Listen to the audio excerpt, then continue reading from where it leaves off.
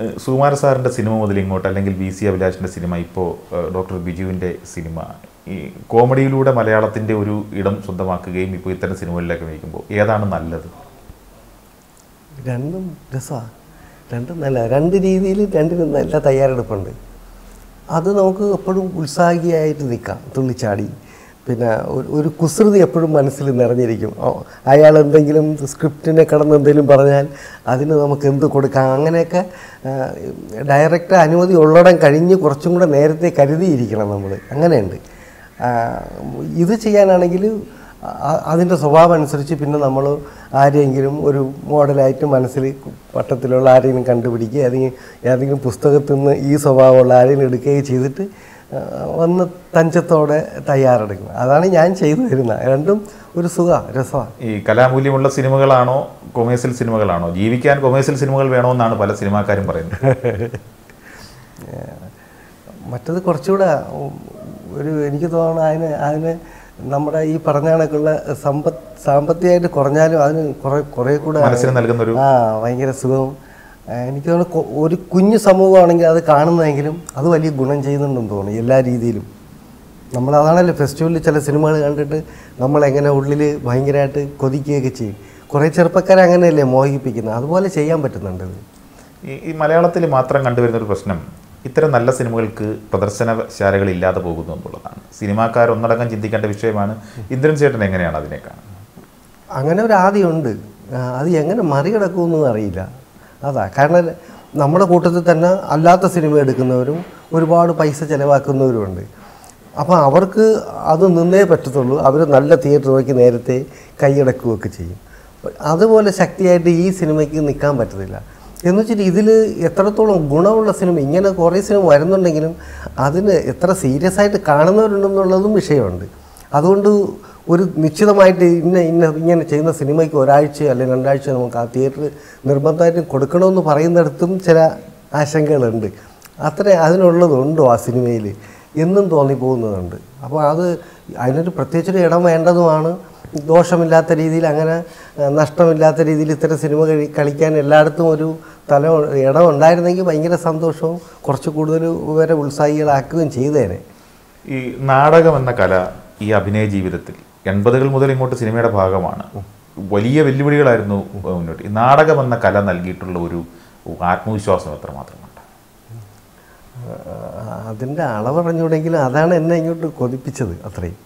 ആ ഒരു ധൈര്യമാണ്.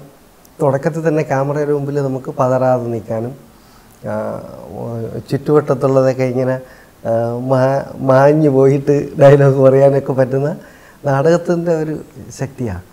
ഈ ചെറിയ ശരീരത്തിൽ നിന്ന് ഈ വലിയ പ്രകടനങ്ങൾ ഉണ്ടാകുമ്പോൾ അത്ഭുതപ്പെട്ടിട്ടുണ്ട്.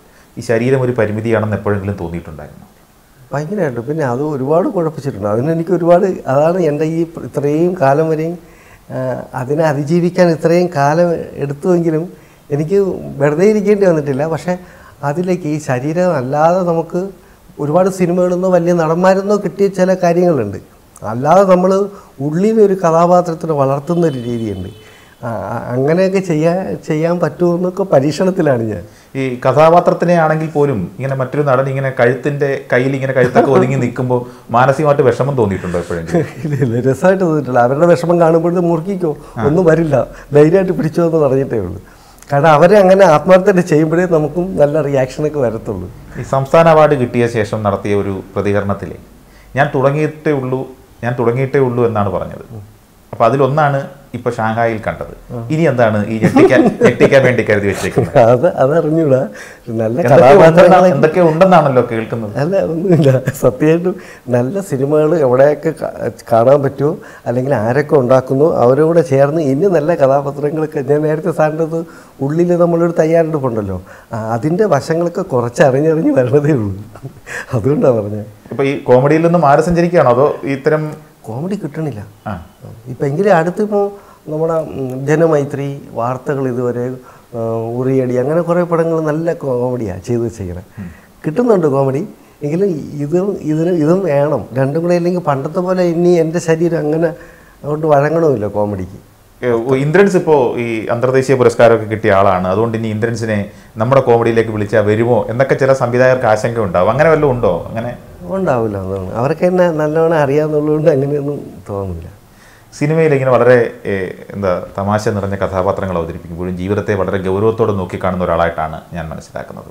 അതിൽ വളരെ പ്രധാനപ്പെട്ട ഒന്ന് അങ്ങയുടെ പുസ്തകം വായിക്കുന്ന ശീലമാണ്. ഈ പുതിയ ലോകത്തെ പരിചയപ്പെടുമ്പോൾ പുസ്തകങ്ങളിലൂടെ ലഭിച്ച കഥാപാത്രങ്ങൾ പുസ്തകങ്ങളിലൂടെ ലഭിച്ച അറിവ് അതൊക്കെ എങ്ങനെയാണ് ജീവിതത്തെ സ്വാധീനിച്ചിട്ടുള്ളത്? ഒരുപാട് ഒരുപാട് സ്വാധീനിച്ചു കാരണം എനിക്കല്ലാതെ വേറെ ഒന്നും കിട്ടാനില്ലായിരുന്നല്ലോ. അല്ലാതെ ഒരു അധ്യാപകരോ അങ്ങനെ പഠിപ്പിക്കുന്നോ പഠിച്ച സുഹൃത്തുക്കളോ കുറേ സുഹൃത്തുക്കൾ അങ്ങനെയുണ്ട്. അവരുടെ ഒരു ഒരു പക്ഷേ ആ ഗുണം കൊണ്ടായിരിക്കും പുസ്തകങ്ങളിലോട്ടും വാ- നല്ല പുസ്തകങ്ങൾ അവർ പറഞ്ഞു തരികയും വാങ്ങിച്ചു തരികയൊക്കെ ചെയ്യും. അപ്പോൾ അത് അത് തന്നെയാണ് എനിക്ക് കുറേയൊക്കെ അറിവ് അറിവുള്ളവനിങ്ങനെ അറിവ് നല്ല അറിവുള്ളവനെ നല്ല എന്തോ സമാദേശി വരാതിരിക്കുള്ളൂ അത്രയും അറിവുണ്ടാവണം എന്നൊക്കെ പറയും പോലെ. ഞാൻ ഇടയ്ക്കിടയ്ക്ക് വല്ലപ്പോഴൊക്കെ വീട്ടിലേക്ക് ചിലപ്പോൾ വഴക്കുണ്ടാക്കുകയും ചെയ്യും. വല്ലപ്പോഴും അല്ലെന്നാണ് പറയുന്നത്. പെട്ടെന്ന് ദേഷ്യം വരുമെന്നാണ് പറയുന്നത്. അപ്പൊ അതൊക്കെ ചോദിക്കണോ? കാര്യങ്ങൾ എങ്ങനെയാണ്? എന്താ പറയും. പറയും അപ്പൊ അത് അത് അറിവില്ലാത്തതുകൊണ്ടാണ് അപ്പോൾ അതിന് നന്നായിട്ട് മനസ്സിന് അങ്ങനെ അറിവുണ്ടെങ്കിൽ എല്ലാം വളരെ കാര്യമായിട്ട് കൈകാര്യം ചെയ്യും. അപ്പോൾ അതിന് നല്ല പുസ്തകങ്ങൾ വായിക്കണം. അതുകൊണ്ട് ഞാൻ ഇങ്ങനെ കുറേ ശ്രമിക്കുന്നുണ്ട്. എന്നാലും അങ്ങോട്ട് എത്തണം എത്തണില്ല. ഈ സിനിമയിലും സദസ്സിലും ഒക്കെ ഈ വലിയ തമാശ നിറഞ്ഞ അല്ലെങ്കിൽ ഇത്തരം കാര്യങ്ങൾ ചെയ്യുന്ന ഒരാൾക്ക് എങ്ങനെയാണ് ദേഷ്യം വരാൻ പറ്റുന്നത്? അതാ അറിയാത്ത. ആലോചിച്ചിട്ടുണ്ടോ എങ്ങനെയാണ് ദേഷ്യം വരുന്നത്? ഇല്ല. ചെറിയ ചിലപ്പോൾ ഒരു ചെറിയ കാര്യം മതി ഭയങ്കര പെട്ടെന്ന് അങ്ങനെ തോന്നും. പിന്നെ ഞാൻ തന്നെ അതിനെക്കുറിച്ച് കുറേ വിഷമിക്കും. വേണ്ടായിരുന്നു ചില. അപ്പം പറയും പണ്ട് അവരൊക്കെ നമ്മൾ ആലോചിച്ചാലും അങ്ങനെ. ദേഷ്യമൊന്നും ആരും നേടിയിട്ടില്ല. നഷ്ടങ്ങളേ സംഭവിച്ചിട്ടുള്ളൂല്ലോ. ഇതൊക്കെ നമുക്ക് അറിയുകയും ചെയ്യാം. എന്നാലും ചില നേരത്തെ അങ്ങനെ തോന്നും. അവാർഡുകളൊക്കെ കിട്ടുമ്പോൾ ഈ പൊതുവേദികളിലൊക്കെ കൂടുതൽ സജീവമാകേണ്ടി വരുന്നുണ്ട്. ഒട്ടനവധി വേദികളിൽ സംസാരിക്കേണ്ടി വരുന്നുണ്ട്. ആ ഇത്തരം വേദികളിൽ സംസാരിക്കാൻ പോകുമ്പോൾ പ്രധാനമായും പറയുന്നത് അഭിനയത്തെക്കുറിച്ചാണോ സിനിമയെക്കുറിച്ചാണോ ജീവിതത്തെക്കുറിച്ചാണോ? ഞാൻ എന്റെ കാര്യം തന്നെ കൂടുതലും പറയാറുള്ളത്. എനിക്ക് അങ്ങനെ ഒരു ഒരു വേദിയിലും വന്നിട്ട് ഞാൻ പറയാം. അവരുടെ അവിടെ എന്തോ അവിടെ എന്താണോ അവർ സംഘടിപ്പിച്ചിരിക്കുന്നത് അതിനെക്കുറിച്ച് വലിയ അറിവൊന്നും എനിക്കുണ്ടാവില്ല അപ്പം ഞാൻ എനിക്കതിലേക്ക് വരാനുണ്ടായ സാഹചര്യം എന്നെ പടം പങ്കെടുപ്പിച്ചതും ഞാൻ വന്ന വഴി അങ്ങനെ കുറച്ച് എന്തെങ്കിലും പറഞ്ഞ് മതിയാക്കാറാണ് പതിവ്. ഈ ഒരു ഒരു കാലത്ത് ഈ ചേട്ടൻ ഇല്ലാത്ത മലയാള സിനിമകൾ ഉണ്ടായിരുന്നില്ല. ഒരുപാട് കോമഡി സിനിമകൾ. ഇപ്പോൾ ഇപ്പോൾ സമീപകാലത്താണെങ്കിൽ വൈറസ് പോലെയുള്ള ഈ സാമൂഹ്യ പ്രതിബദ്ധതയുള്ള സിനിമകളിൽ അഭിനയിക്കുന്നു ഇത്തരം കഥാപാത്രങ്ങൾ എങ്ങനെയാണ് ചേട്ടന്റെ നടനിലെ വളർച്ചയ്ക്കൊപ്പം തേടിയെത്തുന്ന കഥാപാത്രങ്ങളാണോ ഇതൊക്കെ? ആണ് ആണ്. എനിക്ക് എന്നെ അതിന് സഹായിക്കുന്ന കഥാപാത്രങ്ങളാണ് അത് എങ്ങനെയാണെന്ന് അറിയില്ലെങ്കിലും എനിക്ക് അതറിയില്ല. എന്തായാലും നല്ല കഥാപാത്രങ്ങൾ തേടിയെത്തുന്നൊരു സന്തോഷമുണ്ട്. ആ. ഇനി അങ്ങോട്ടുള്ള സിനിമാ ജീവിതത്തെക്കുറിച്ച് ആലോചിച്ചിട്ടുണ്ടോ? ഇതുപോലെ തന്നെ ഇങ്ങനെ വരുന്നത് അങ്ങ് നിന്നു പോവില്ലേ?